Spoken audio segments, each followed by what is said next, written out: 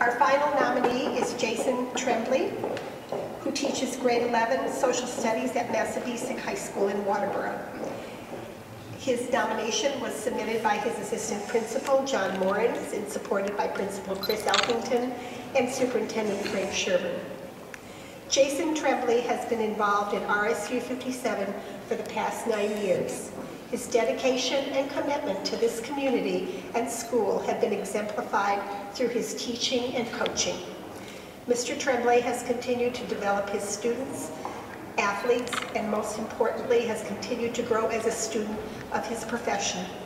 His is one, his, he is one that continues to immerse himself in his passion of teaching and coaching and always strives to learn something new, whether it is on his own or from his students themselves. Congratulations, Jason.